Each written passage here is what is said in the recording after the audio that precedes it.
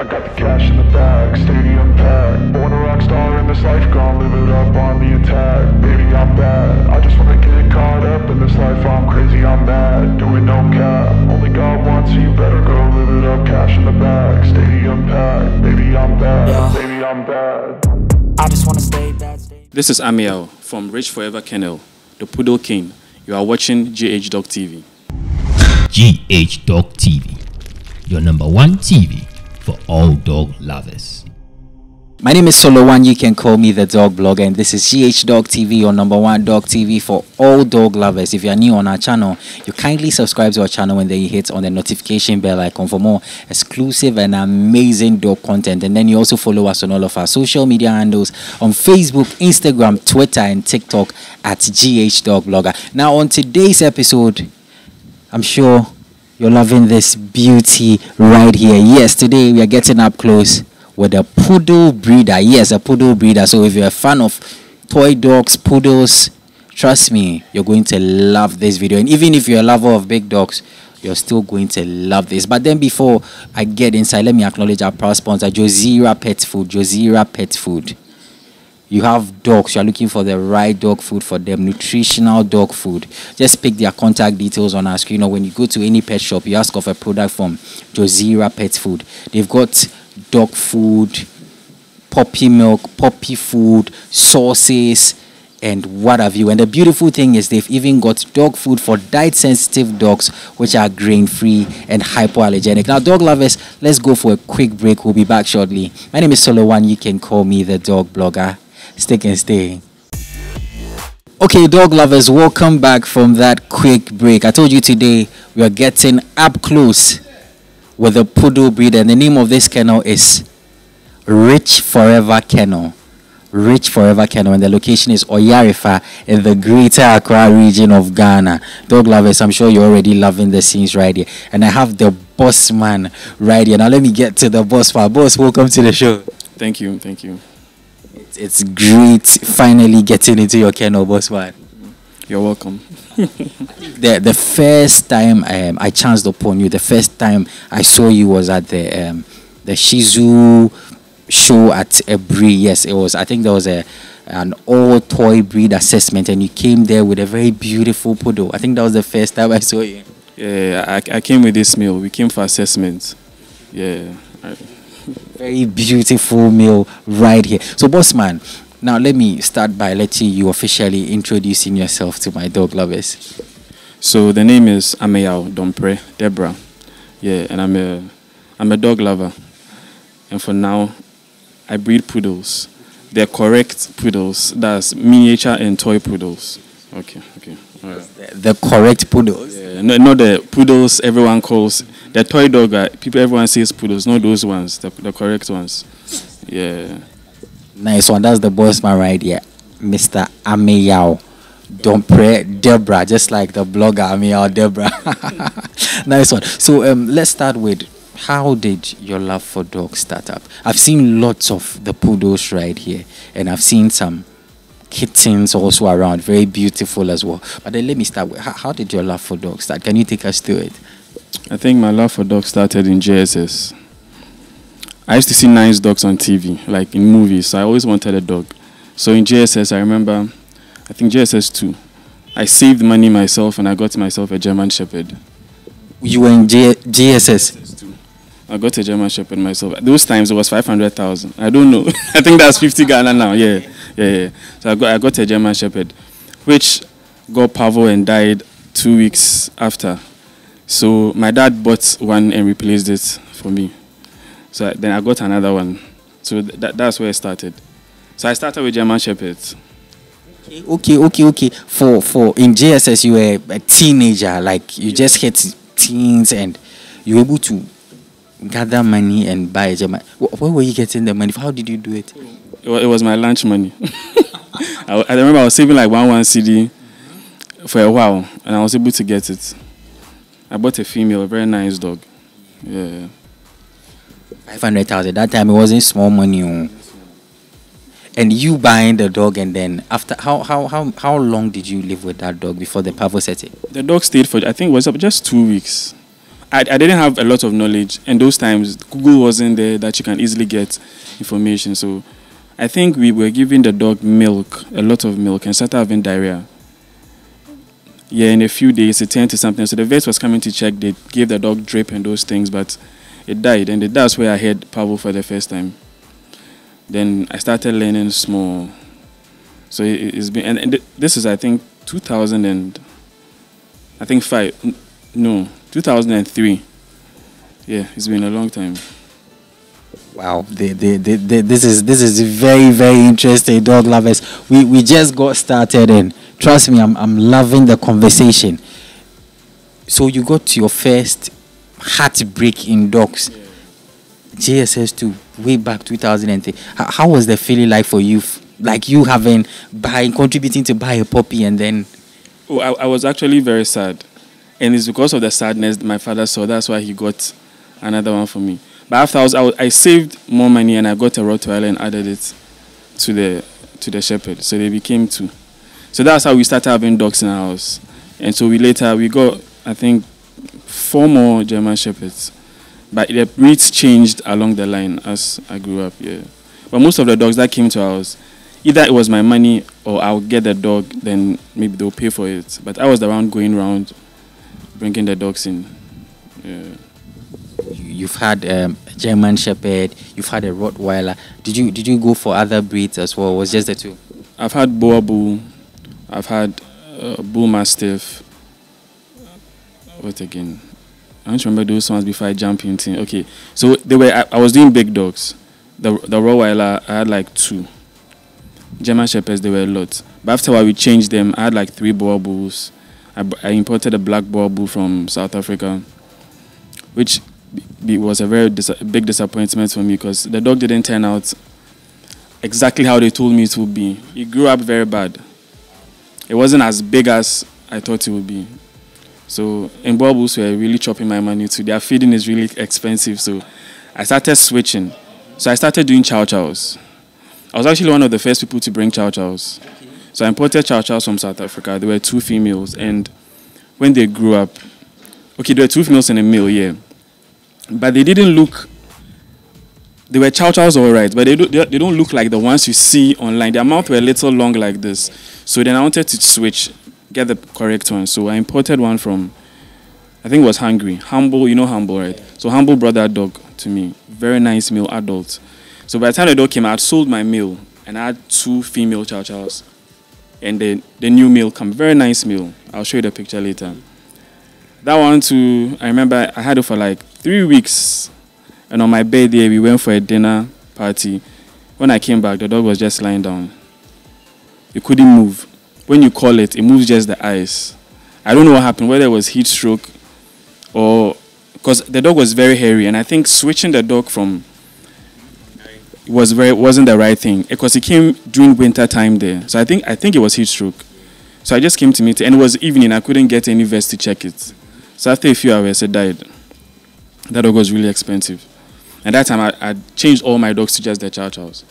And the male had died, so I had just females there with nothing to do. That that that really broke my heart. So I just gave the female chow chows out, and I stopped breeding. Okay, okay, okay, okay, okay, dog lovers. I'm, I'm, I'm loving this conversation from a young dog lover buying a German Shepherd.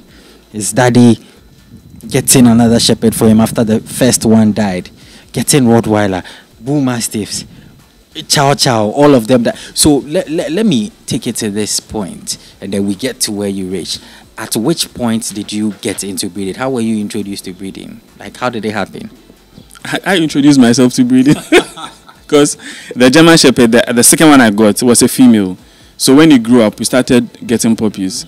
But those times, it wasn't really for business. So even though we were selling them, I- don't think it was much, like 150 cedi or something. And that time I was staying in Takoradi, so we were selling it to just friends and stuff. When after SS, when I finished SS and I understood the, and I did business in school, so I see the business side of it. I was like, let me take this serious. So af with small research, I realized that Boerboel was the thing at that time. That's when I started getting Boerboels and Bull Mastiff. But because of the feeding cost and the stress, and doing the calculations on what I'm spending, what I'm getting, it wasn't tallying. So I wanted a medium breed, and chow chows were really nice for me. And I realized that somewhere, I think only one that time, Ronnie Ronnie's kennel had a chow chow. Those times, and I was like, well, let me get one." And I imported. Well, I wanted to be the chow chow breeder here, but looks like it, it didn't work out. but I was able to get a few puppies to sell before the other meal came. But I wanted to change the quality. Yeah, and when that quality came to, and chow chows are really difficult to breed. If you ask eh, the few people who have those ones, they'll tell you they don't really fit the weather here. So it, it worries their this thing, their reproduction a lot. Yeah. Unless you decide you're going to shave them and put them in AC every time and all, and then that's too much work. Yeah. And when you, you, you came back from the dinner, you saw the chow chow lying down and the chow chow passing. How was the feeling? I'd like you to describe. How was the feeling like? It really broke my heart. It, it, it, it, was sad and very depressing for me. Like I, I still remember that's why it's because it was my birthday. I can't forget that particular day. Yeah, at that time I used to stay in Spintex. It was. I remember mother, I, I told my mother, even though I wasn't staying with her at that time, she told me that she said it's infant that you're breeding on Jew J J, but only J. Which means um, the, the, the, the breeding is not working out, so stop. yes, I should stop. I should stop doing it. So I actually listened and I stopped. I stopped for a long time, almost like five years. Five years with just one Caucasian pet. So I just stopped breeding. Yeah. Then so you've stopped breeding for five years. So let's say don't, don't I won't even add the five years. Let's say you've you've stopped breeding. Your mom has advised you. So what what again brought you into breeding? It's only one thing. Only one thing. But the, another reason I stopped breeding, apart from the fact that the dog died, you see, there are times that we used to cross dogs and you don't have puppies, don't get, and all those things affected the business. And if it affects your money, it affects the love you have for the animal too. So, I think someone, I don't remember who told me, but someone told me there's a vet at Abelemkpe, Dr. Connie. He does progesterone test, so you can actually see when a dog has ovulated, and when you get that thing correct, the chances of getting puppies are, is really high. I was like, okay, then let me try. So that time, I didn't want to spend so much money, so I got three Maltese. Three, I remember three Maltese. Yeah, they were I think two months. Don't I don't know if they came with a parvo or what, but the three, all, all the three died in the first month. The losses that we've had, all the three died in the first month. So I was like, wait, forget Maltese. This thing I won't stop. I'll do. So, but, and I so and then my friend, there's this guy called Nikwe. He's Alabadi. He told me he had poodle, the correct one. So he sent me pictures. And I was like, oh, Charlie, this dog is nice. But I know game when you so okay, he'll give it to me and I'll pay small, small. So I took the, that's this one, the the brown one. It's called Millie. If you can call them so that they can join. Come on. Wow, dog lovers, that's Millie right there. Okay, can we get the others too? I don't know if it, Nera. Vendi. Anika. Come hmm. on.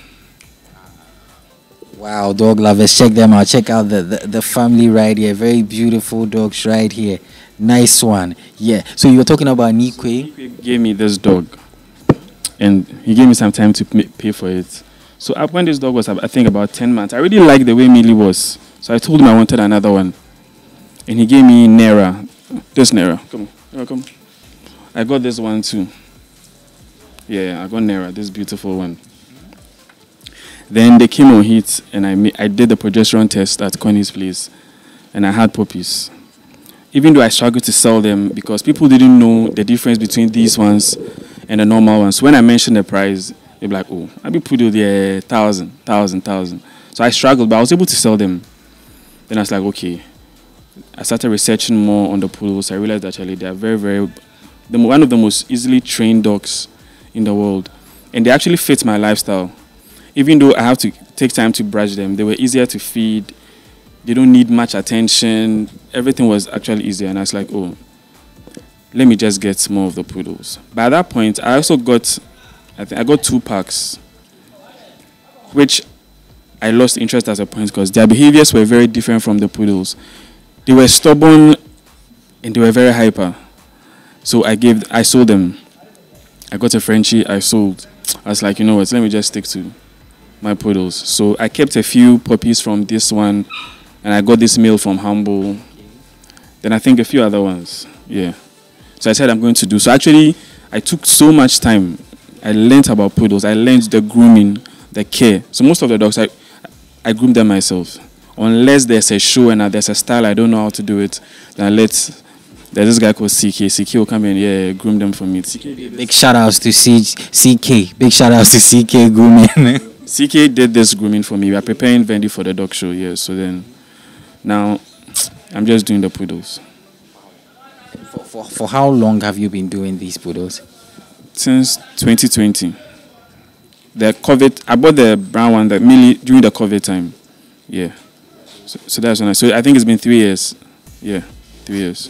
Why the name Rich Forever Kennels? Was was that the name you were using before or you rebranded? The name I was using, I was just using my name, I'm our pets. Yeah, but I'm a, I'm a firm believer of positive speaking. And I like Rick Ross, so the, the Rich Forever came from him. I was like, let me, let me just switch to that name, and I, and I, I use that. Yeah. I, I love the name Rich Forever Kennels. Positive vibes, dog lovers. We are right here at Rich Forever Kennels. The location is Oyarifa in the Greater Accra region of Ghana. Very soon we'll get to my favorite part where we check out the names of the dogs and everything. But then let me acknowledge our proud sponsor, Josira Pet Food. Josira Pet Food, the pet food with passion. You have dogs, you're looking for the right dog food for them. Go to any pet shop or you pick the contact details on our screen and you get a product from Josira Pet Food. Puppy milk, puppy food, wet food, dry food, sauces. Just link up with them and trust me, you're going to love it. And the beautiful thing is, they've even got dog food for diet sensitive dogs, which are grain free and hypoallergenic. So now, uh, Bossman, your, your, your story, one thing I love about it is the fact that you didn't give up. I know somebody's watching our video right now and your I know for sure that somebody is trying hard is not picking, but hearing your story is going to really motivate this person. So during these hard times, how were you able to like? Where did the motivation come from? So the motivation came from a few friends, a few breeder friends that I, I, I was seeing the hard work they were doing and the results they were getting. So sometimes I would just call them and talk to them. One person was Peter. I was seeing Peter's post. I was seeing his Peter Vigilio. Peter, House of Vigilio. Yeah, let me just say it well. So I used to call him, I ask him, Charlie, this, this, then he would tell me. He would advise me, oh, you have to, you can do the progesterone test. He actually even, yeah, I remember he told me about the, progesterone test and all that. And sometimes I even ask him, oh, I have this meal. When do you think I can start crossing him? And Peter, Peter's like my second vet. He tell me, oh, Charlie, try the supplement. And I, I give the thanks to Peter for showing me what to do. So Peter helped. Adam Fopati is part. Uh, Nikwe, who else? Who else? Motivation. Rev to his part because I, I. I went to Rev's house a few times and Charlie, the way the dogs are and everything, I, I was really motivated. Charlie, because you see that they are getting puppies, they are selling, and you tell yourself that when you keep doing this, you get humble is humble and Winnie. Because I got some of my poodles, this beautiful one from them. So those are the few people. I'm sure there are others. Maybe I've forgotten their names, but and Dr. Co- Dr. Connie has been one of the life-changing people in my life because I I always do progesterone. Even though I have a male, me I will go and do progesterone test to check that the time the male is crossing is the right time. So at least if the male crosses one or two, I know I'm okay. I don't do trial luck. I, I follow the right thing. There's sometimes there are people advise them, Charlie, do progesterone test. They'll say they, they did, they didn't work those things. I'm like, you just don't do that. You have to read about it. See how the time the dog will ovulate, the result you are getting, what it means and when and all those things. So when it comes to, I think progesterone test, doing vaginal swab to see that there's nothing wrong with me, my own. Even I'm using my own meal, my, my own meal. I check my females.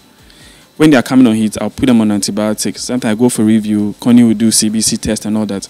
I want to make sure everything is right. Because the heartbreak I've gotten in the past, no, I, I'm not doing trial like this time. Because it, it's business. If you are going to pay 120 Ghana for progesterone and you think 120 Ghana is too much, you are going to do trial like and you won't get puppies because of 120 cedi, then you are not doing the right thing.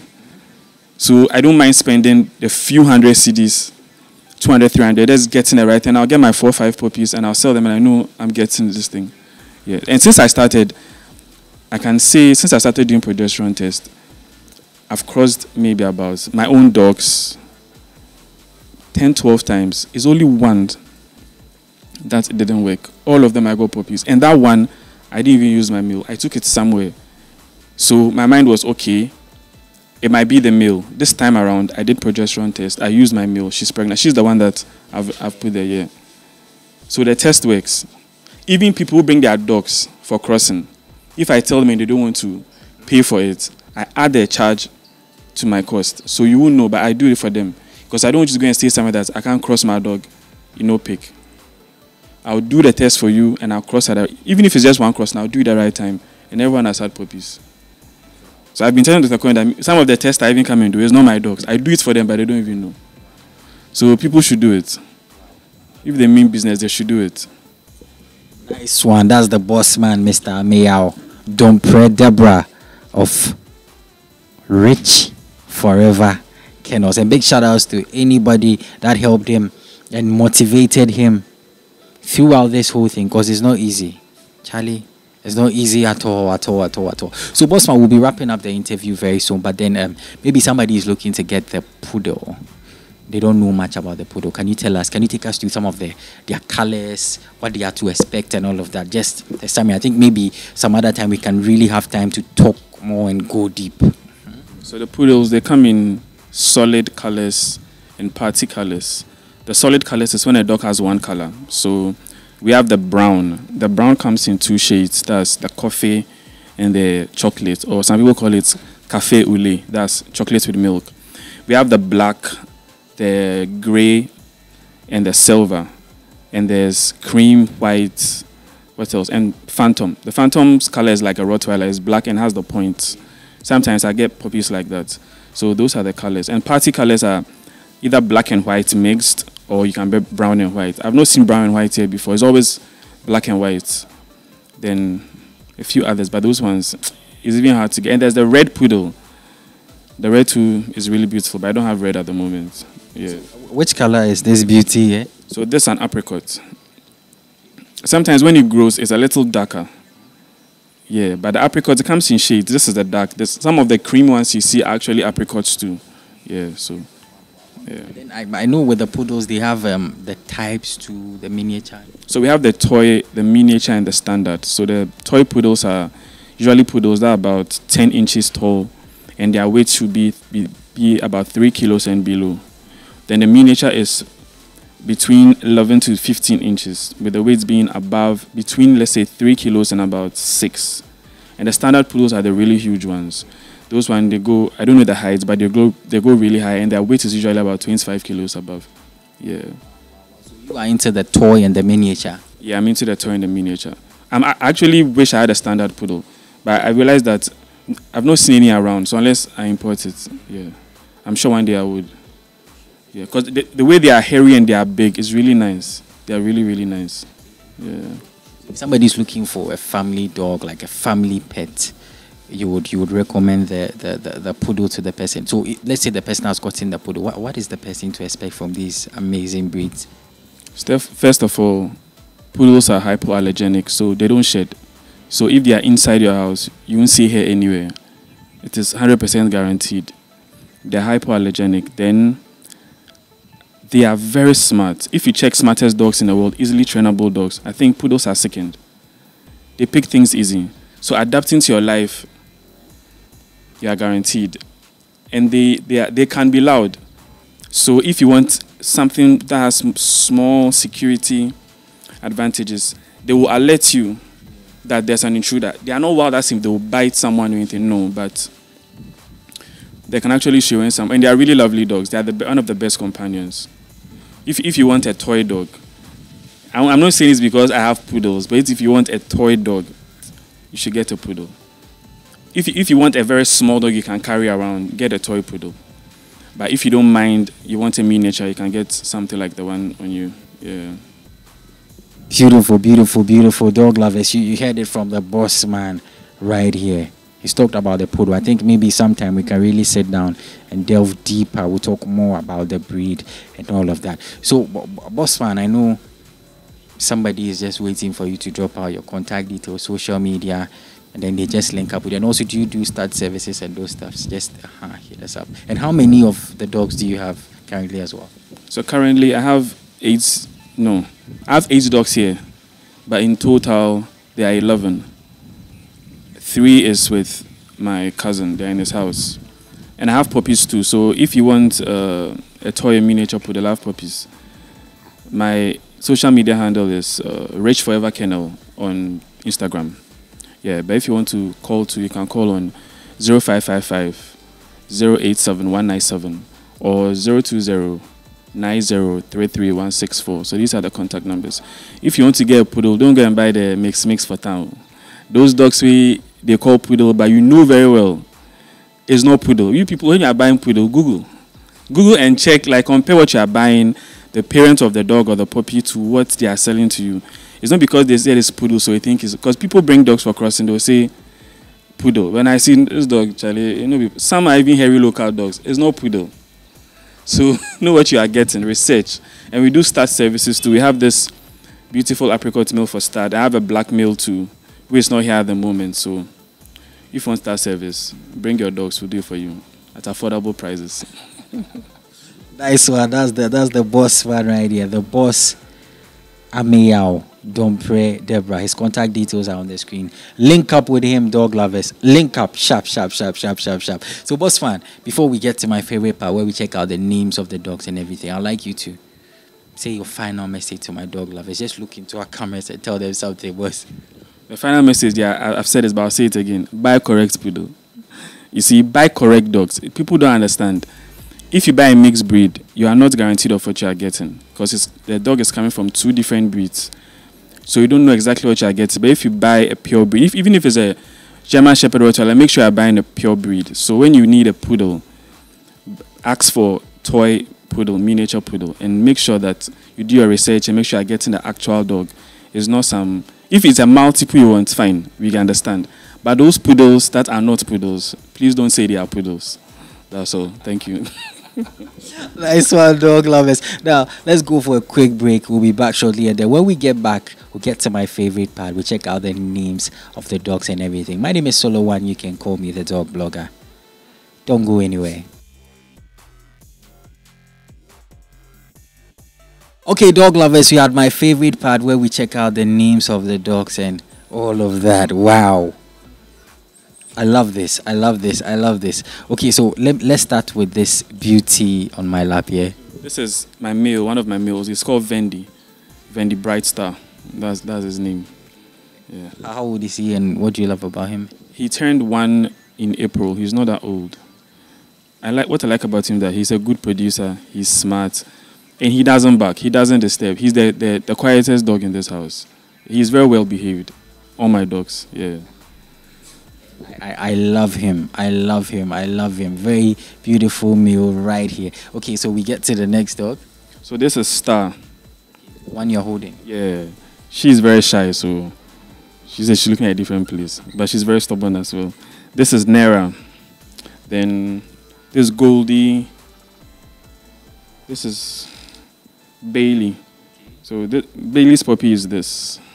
Yeah. Then Millie, come here. This is Millie. Okay, dog lovers, have a look at Millie. This is Millie. So Millie, Bailey, Star, Vendi. There's Nera here. Then Goldie. Then Destiny is in the cage. Yeah. Th- this is the first dog you got. Oh, this one. Dog is this one, Millie. Millie is the first dog. I got this dog just last year. So Millie and Nera, these two, I got them during the COVID time. Yeah. Then others came after. Beautiful, beautiful dog lovers. Wonderful family right there. And I think there are some other two. Anika, come. Before I forget Anika. Come on. So this is Anika. Come on. Yeah. This is Anika. Very beautiful. How, how old is she too? Anika is almost five years. She's Wow. Even though she's five, I had her later. That's why she's older. So she's the grandmother of the house. yeah.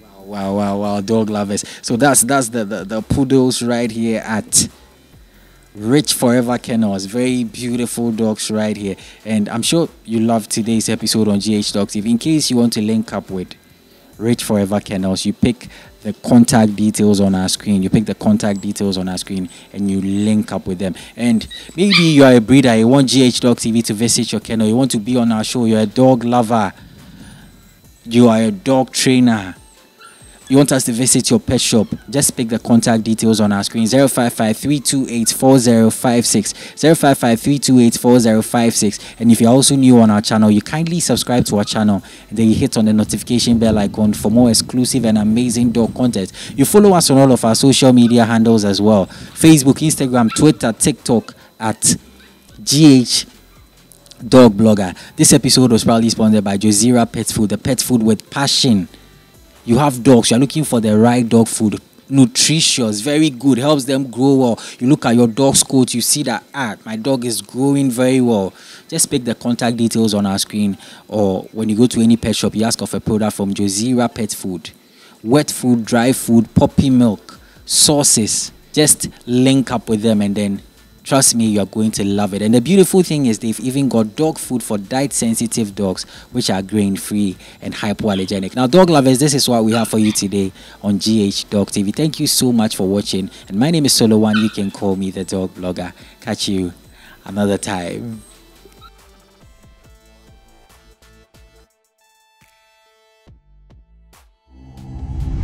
GH Dog TV, your number one TV for all dog lovers.